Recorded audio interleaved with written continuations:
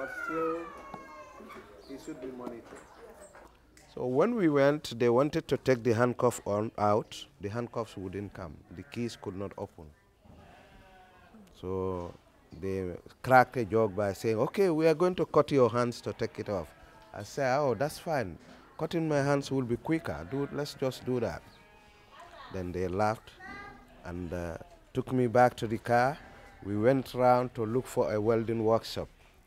And there was no electricity around that end. We went far, some two kilometers. We had electricity. So a uh, we came to a workshop where there was light. And this, uh, when they talked to the guy, then he brought his machines and cut the handcuffs off. On Saturday, this last Saturday. Yeah, that was the date. Yeah. And when we went to Banjul, I was taken to a place called Bambadinka, the crocodile's hole. That was where I was first kept. For one, two, three, four, fifth day, they brought in somebody else, a young man, a young little boy like this one, who they said put on a t-shirt, Gambia has decided. About 12 or 1 in the night, they brought in this young man.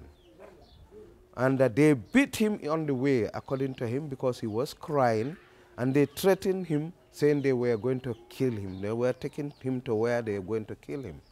Hardcore criminals. What anybody was he told me he was only picked because of the T-shirt. I said, then it's likely tomorrow you will go. They will leave you to go home. Then I gave him one of the cardboards. Then he also used that one. Well, after a while, he got up again, crying, you know, and telling, oh, my mother, I never thought things are going to happen. Oh, no. Is this Tijan? Tijan Barrow? I don't really know him.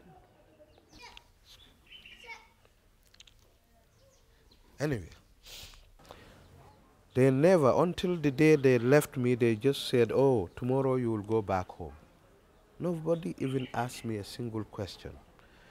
And I learned even the Director General of uh, the NIA said he was not told as to why I was brought there. And as I told you, the Jungulars took always take directives from the president, uh, Yahya Jammeh, at the time only. So it was he who sent them to pick me.